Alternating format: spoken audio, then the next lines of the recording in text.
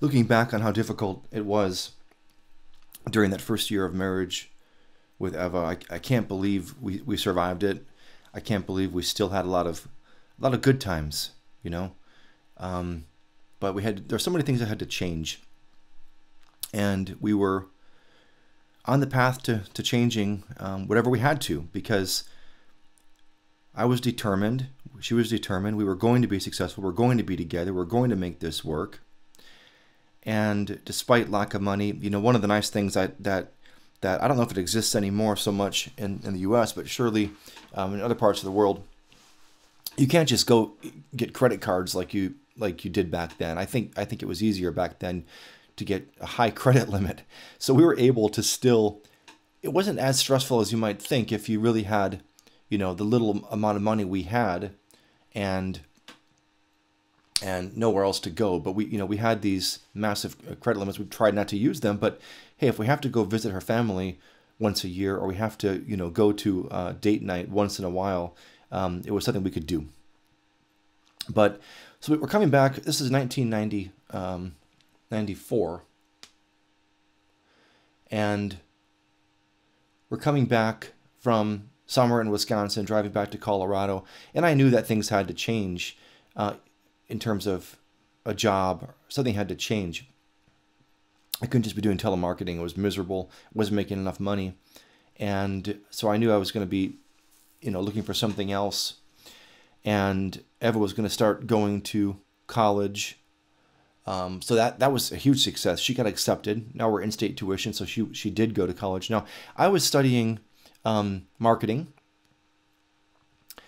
I was I made the first year. Of course, you don't get to the business curriculum yet, but you study the, the basics. I was doing all right, and she her her goal was to become a physician. So she wanted to go to med school, which was like a, obviously in the U.S. a long path, eight years, and then internships and everything else. Um, so she was going to start. I I was um, you know into my my second year, um, and we came back and I and I found a job at a window factory. um, so I worked on the assembly line. And you know, it was an experience. It was it was rugged, tough guys, really sort of abusive behavior, um, a lot of teasing, but that went a bit beyond teasing. I, I learned to do chewing tobacco, which was a disaster because that stuff that I don't know about the Norwegian snus and all that. That's probably fine, but like this American stuff, it just ruins your mouth. Your your gums are just completely uh, destroyed and your, your teeth are being are rotting and you can't quit this stuff. It's so strong. It gives you such a high.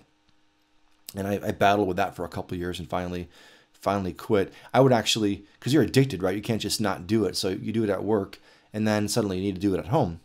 And of course, Eva was disgusted by it. Uh, she didn't understand what I was doing. And so she, she said, throw it away, never again. And I said, okay, of course, you know. And then I would hide it behind books.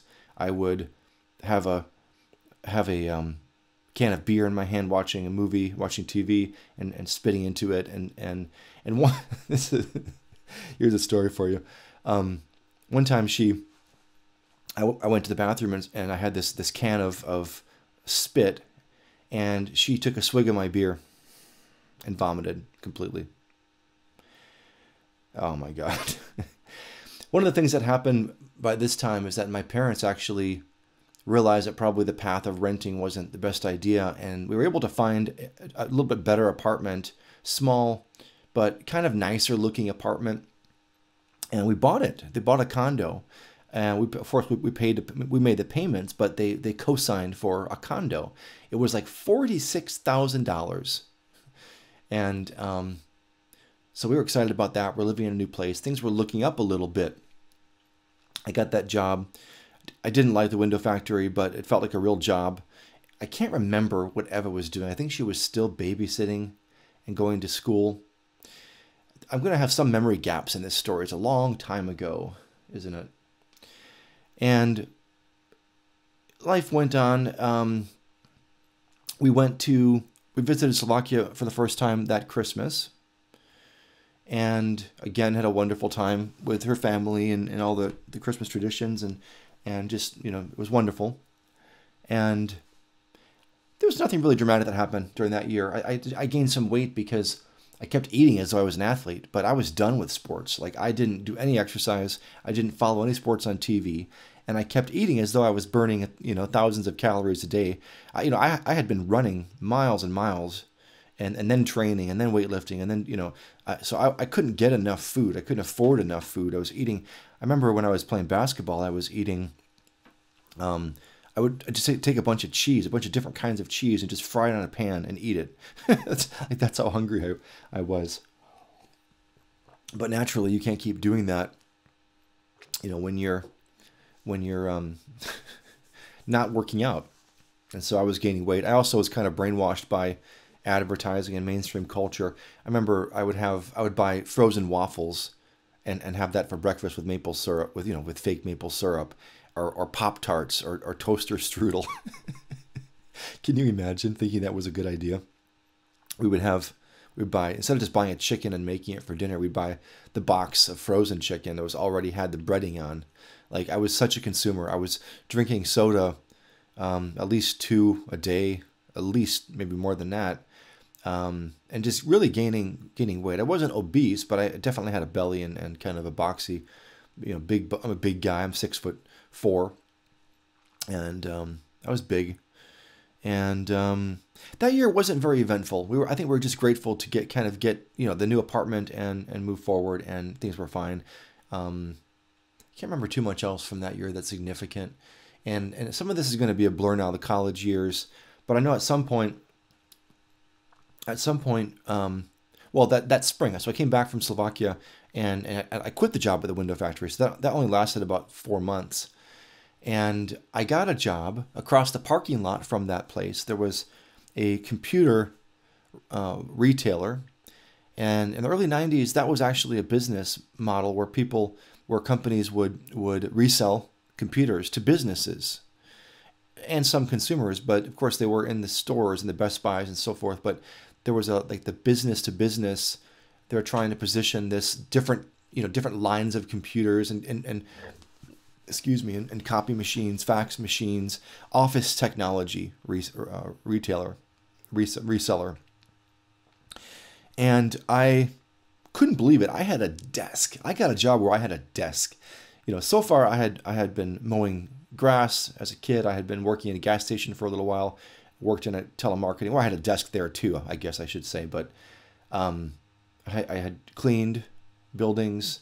I had worked in a factory. So you know, being a business student to be able to have a desk and not just have a desk, but I mean, go to work with a tie on. Like we were required to wear ties.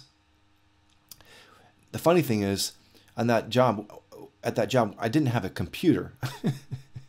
so I was selling office technology and laptops and desktops and, and computers, but I didn't have a computer on my desk.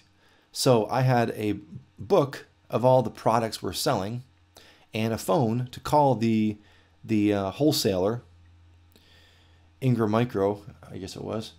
And I had to like, the customer comes in, sits, at my desk. We had a few demo models on the floor.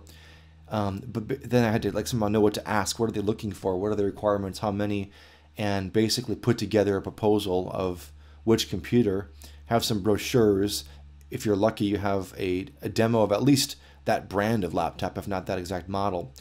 And and then you have to place the order and and, and just you know at some point you, you just wonder what you're doing or, or why this this model was necessary. But um, we, we, we didn't make a killing but it was you know enough to keep a couple people employed on the on the retail floor. And we'd have teachers wander in and we'd have business, small business people wander in to, to make some purchases and I had that job um, for a little while and I had doubled my income from the factory, and so things were looking up, right? And we were, you know, we were skiing. Um, I was still doing some mountain biking. I said I wasn't doing anything, but actually I was still doing some mountain biking. And in Colorado Springs, that's a that's an amazing thing to do. The I forget the names of all the parks, but there's there's parks. You go to the mountain and you're going straight uphill, which is hard, which is hard biking. But I loved mountain biking, and at this point I had taken up skiing. So we would we would go a couple times in the winter uh, through college, go to Vail or Breckenridge or these other places, and we would drive early in the morning and then drive back at night, and and it was just a wonderful thing to be able to do as a kid from Wisconsin to be able to, to be able to go skiing. So I was starting to feel pretty good about life. I mean, I'm with my wife. We're not fighting as much. Of course, we loved each other. We're dependent on each other. We trusted each other. Nobody's ever cheating or anything like that. And um, it was kind of starting to work. We had this sort of pride that we're building this life together. And whenever we would go to Slovakia, uh, well, the first time was that Christmas, but you know, we'd bring gifts. We'd, we'd, take the credit card and go buy some T-shirts and, and clothes and bring a bunch of gifts to kind of show off that, hey, she wants to show off that we live in America and we have all this stuff. And the whole family would come over and, and we'd give them their, their gifts and, and film it with a, with a camcorder. Um, if we had one, it was we had an old camcorder. I'm not sure if we filmed it in the 90s, but later on.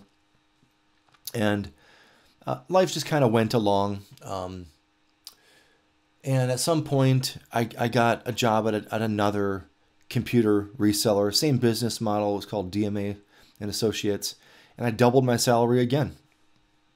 So naturally, I took the next job and doubled the salary. I, things were, like I said, looking up. I was feeling pretty good about the future. At some point, um, Eva started getting different jobs as well. I think she, well, we, we still were applying for her permanent residency. It was a long process. After even after getting married, you still go through like a year or so, and that of course the babysitting was mm, cash, you know. Um, and then I think at some point she, I forgot all the jobs she had. She worked in a museum. Um, she did a couple different. She worked in a dental office for a while. She did a couple different little jobs, and um, it was fine.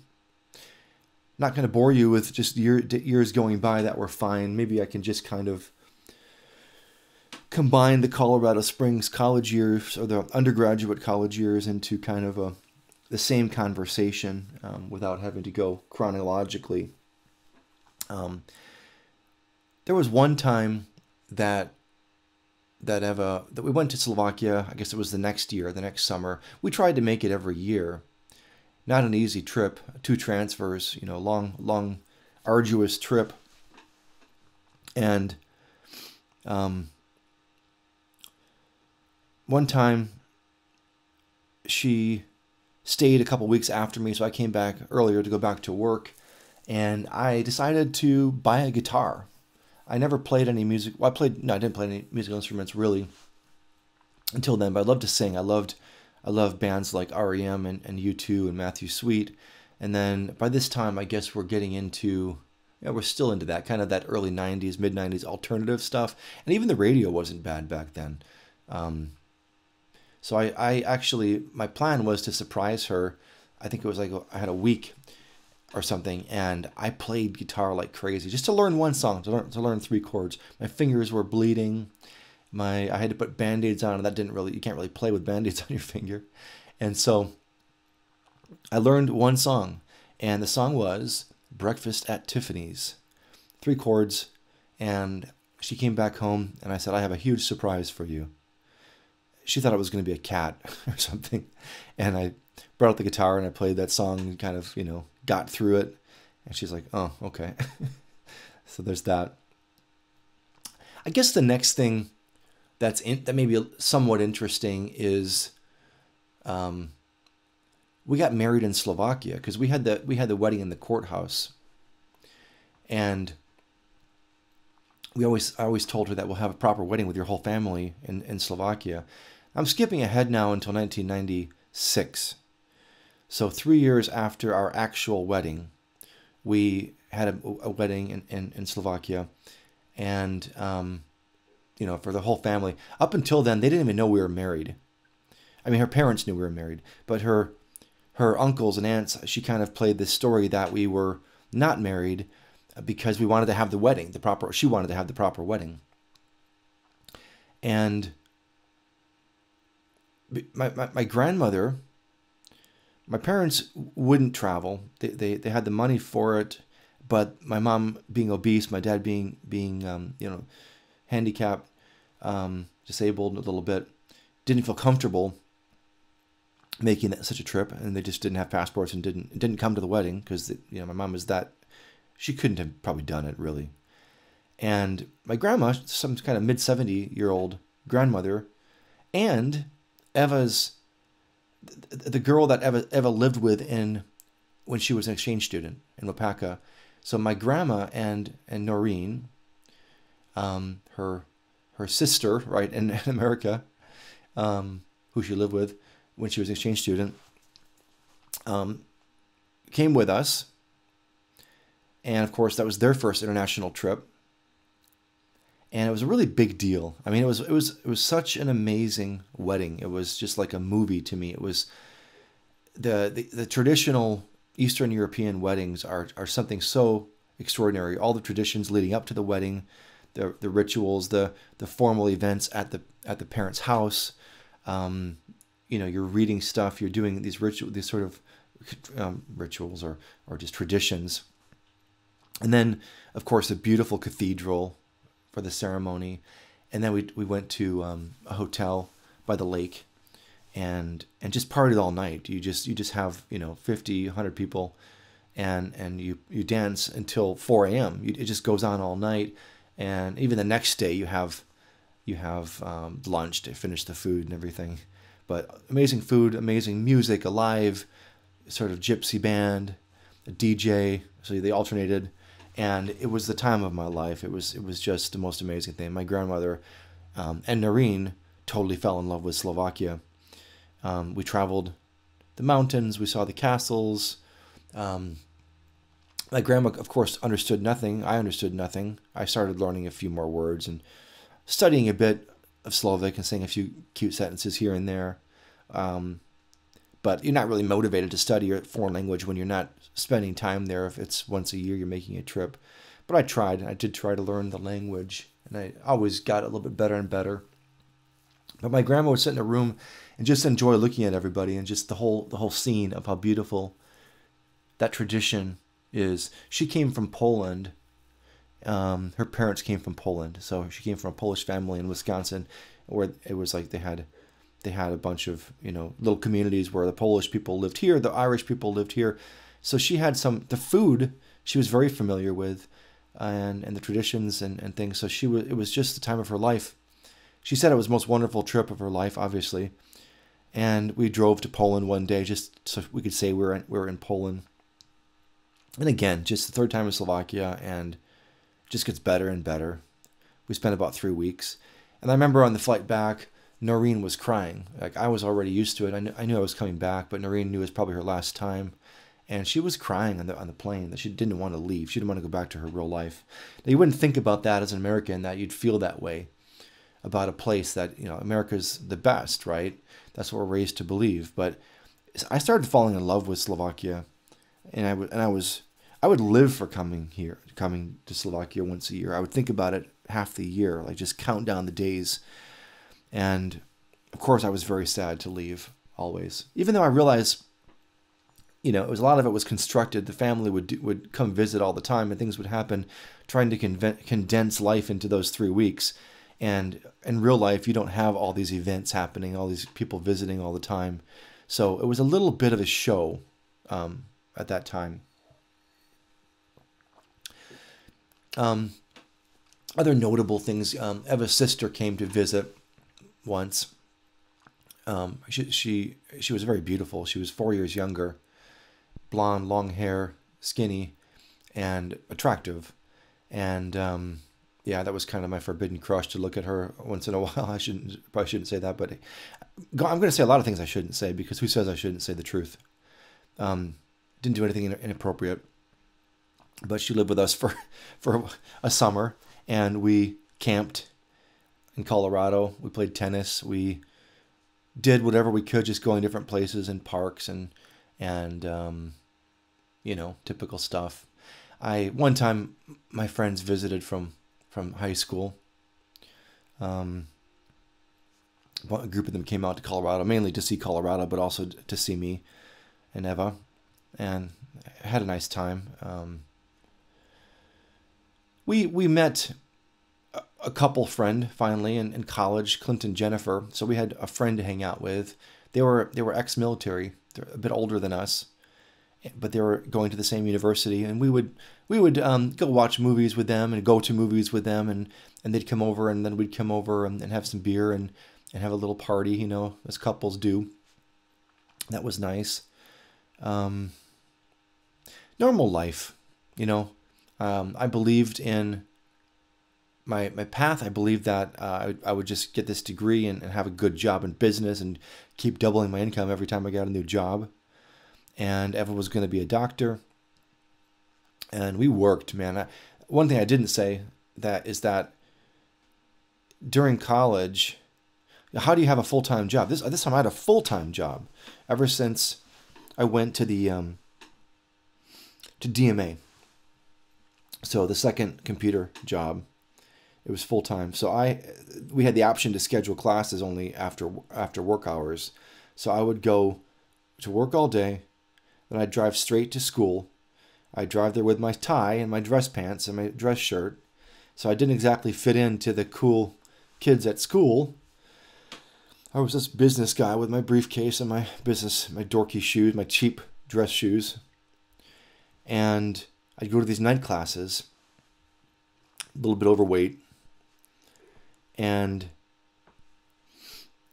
at some point, sometime around the same time, um, my my grandparents sold their farm. I told you earlier in the episode, in the talk one about how they had this farm with a barn and everything. They sold their house because the, the highway was going to come through, and they sold it ahead of that to developer. And my parents got a bunch of money, like a massive amount of money, hundreds and hundreds of thousands. And they gave me and my brother 20,000 each. Now at the time I thought that was a lot of money. But they gave the televangelist preacher um, more than that. And of course they paid off their house and they kept some for themselves and you know they kept it and spent it themselves on a hot tub and everything else and i got 20000 okay i'm not complaining this is not I, I sure as hell hope i don't come off as a victim ever in these in these talks because that's not the case this is the life i chose and the adventure that i wanted for myself but i got this money i had the job and i got my dream car ever since I, I was 18 and moved away i dreamt of a convertible at first it was a Chrysler LeBaron convertible because that's all I could afford, even though I couldn't afford that. But with this money, I bought a used Mazda Miata for like nine thousand something, nine thousand six hundred dollars. And this is like in the later 90s, like mid to uh, maybe 96, 97 ish. And so here I am with this job and this this Mazda Miata. I'm a tall guy, which is kind of funny. My knees kind of touch the dashboard but I had my convertible little two seater, and it was fun. I, it was the most fun I've ever had. It was just wow, what a dream. I remember driving home when I bought it. I was playing Simon and Garfunkel, like in like in a um, Mrs. Robinson or something, and I just it was beautiful to live in Colorado, the mountains and and the and, and the nature and Colorado Springs is a, is a beautiful town. But my life was hard. Every day, work all day, go to class every night. Well, when do you study? Well, that's the weekend. So I might have taken Saturday off sometimes, or most of Saturday off. We'd go to the mall and go out um, once we were 21. Um, or go to, you know, like I said, go to the movie, go to Ponderosa, or go to some kind of cheap restaurant. But it was grueling, and I did that for for. I, in the end, it ended up being four years. Four years of my life I worked full time and I went to university full time. The other thing is that I got straight A's during that time. So I wanted it, right? I, I wanted, what happened is I wanted an MBA. I wanted to go beyond just a bachelor's in marketing. And I, I, my goal was to get an MBA and or, or, or either go to law school or MBA. I wasn't sure, but I know that I needed I knew that I needed good grades. So I did, you know, turn my academics around. And those la- in the last two years of my undergraduate, it, it, was I worked at it really hard. But at some point, when I got when I so I, I decided, even though I took the the not what do you call that the I forgot the LSAT I think it is for getting into law school. I applied to law schools. I took the LSAT and I got accepted. But I decided that probably business is more suitable to me versus all the, the legal stuff and I made the decision to just stick with the same university. And um, and I earned my, and then I went for my MBA in technology management.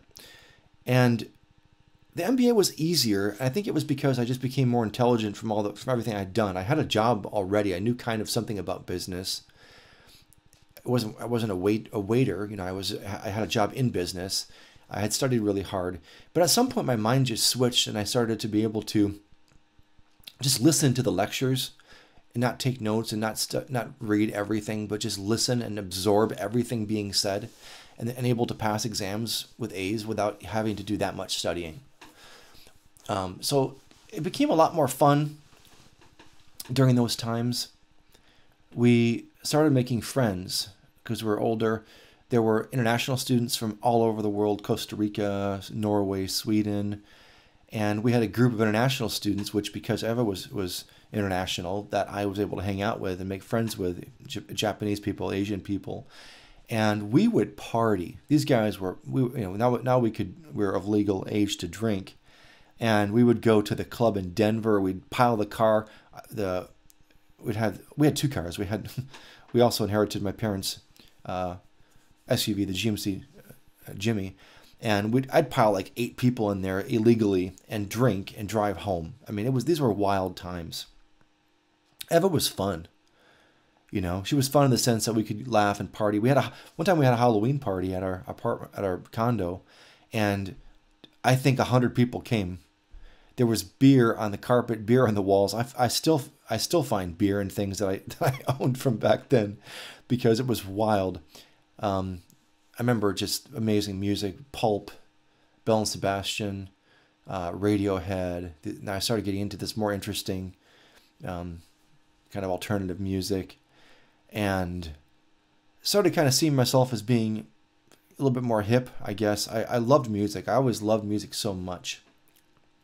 Um, I was also playing guitar a lot. I was, I was learning a lot of songs for many years. I was learning cover songs and playing and singing, and then, and then at some point, like, why don't I try to write a song? That'd be fun. So I just took a chord progression and wrote some melody and lyrics. And I started writing songs just for fun. I started smoking cigars, driving around in my Miata, was smoking a cigar. One time I took my guitar in the trunk and Eva was studying or something, and I went to on the mountain roads and almost killed myself speeding around corners. Took my guitar into a field and sat on a rock and played. Smoked my cigar. Had a lot of fun. We met some friends from from uh, Boulder University, University of Boulder of Colorado Boulder, uh, Norwegian and Slovak couple. Went hiking with them to a lot of the really steep, high mountain peaks a couple times. Went camping in Moab, Utah with them. Went camping once in a while. So it was a it was a pretty good life. And I don't I don't mean that there's anything necessarily interesting in this in this segment. I just want to provide the reality that that life isn't just about positive or negative or about good times or struggling times. I think I think it's both. I think it's everything at once. And this this certainly at this part of my life it was everything at once. Um, I, you know, I still had, especially when we were starting to party a little bit, um, some of the girls we are hanging out with in the group, I kind of had some pretty, pretty heavy crush on, on, on, on some girls sometimes. And um, one time at, at a dance club, I actually danced with with this this Japanese girl and kissed her cheek, and Eva saw it. And um, I was this close to like I was really close to cheating, or you know, I had gone since you know age 17 with only one girl and now I'm 21 22 23 24 and the urge was starting to really creep up I like I, I would do anything for just a different you know different girl, just for the night. And I told Eva about it. I told her that maybe we could try something fun, maybe we could try some threesome or something like that. And she went nuts. Of course, she went nuts about. She always would go nuts about that stuff, but I it was a real problem for me. I loved I loved Eva completely, hundred percent with all my heart, and would do anything for her. I mean, I, I supported her through college. During times I needed it, she supported me through college. We both cooked, we both did dishes, we took care of each other, we were equals. We had the same goals. We loved her family. She was not she was good to my family when we when we would visit. My grandma would come fly out and spend time with us for Thanksgiving sometimes. She spent a week with us uh, by herself. She'd just come out and, and spend time with us and it was wonderful times. And Yet there was this underlying desire. And it was nothing that, I don't think at that time at least, it was nothing lacking in our relationship. She was very attractive, more so than me. Beautiful, beautiful accent, beautiful figure, beautiful face. She was never that nice to me. She was, she was, you know, she was a hard person. She's a, she's a, well, she's a pretty strong ego. She's a Italian woman, right? That sort of thing. But I was tough. She she taught me all the manners. She taught me how to eat, eat with a knife and fork and how to go to restaurants and enjoy that aspect of life and and how to you know how to fit in. But at the same time, we'd go to parties and she'd always scold me for something. I remember every time, and this happened ever since we started going to parties or going to visit friends, that on the way home in the car, there was something I said or did that was the worst of that of that day, right? So it doesn't matter if it was minor or if it was major. She would choose something that was inappropriate that I did and I would have to really hear about it and feel shamed all the way home every single time. So that's not yeah, that's not the way to do things. You don't you don't criticize. You don't own the person and criticize the person. And that's kind of where it, what it got to be that oh, you embarrassed me, you know. I was look, I was a kid. I mean, I was still, you know, a young person that's going to want to have fun and get crazy and say something crazy. And there were times that it did get ugly. I remember one time um, I got jealous because she actually started to kind of fall for this other guy. She would talk on the phone with with this Swedish guy every day no, we're just friends. We're just friends. Yeah, right. You're just friends with a, with a guy. You're, you're laughing. You're laughing in the other room. And one time they danced at a, at a house party or an apartment party. And I had a lot to drink. I was at that point of, of that, you know, it's brainstem functioning, but not much else. Animalistic, you know, instinct kicks in. And I poured beer over her head in front of every, in front of our friends. Oh my God. Yeah, that didn't end well you know there so there started to be some violence um never from me i never i never hurt her physically but she did hurt me physically. She did feel that it was totally fine to attack me and hit me kick me slap me. But that was normal right? That was my my wife and it's because she loves me right? That's what i thought but yet there was this there was this underlying need to be with a woman who, without the conditions, to be with a different woman just for the thrill. But there might have been something emotionally about that to have that feeling of being free, being accepted, the weight of all these expectations not there. It's an amazing fantasy for a guy, and probably for a woman too, who feels controlled, who feels abused a little bit. But I wouldn't go so far to say that that you know that that we shouldn't have stayed together or that it was so wrong that that it wasn't going to work. You know we were right on track for total success. I was going to graduate university beyond that have an mba have a graduate degree. And I did it, and I had my wife, and we, we made it. It was a really gratifying, gratifying feeling, and we we always wanted to project success to our families, to, to, to everyone in the world that we knew, that we were successful. We were the ones who made it. We got out of our hometowns. She got out of Slovakia, which back then was kind of considered backwards, and I got out of Wisconsin, a small town, which is of course considered backwards in the in the world, and you know I went from being a Christian to being a typical liberal um, atheist because of university. Eva was always agnostic, atheist, but we, we did not have any spirituality at all. Our faith was in ourselves. Our faith, our faith was in education.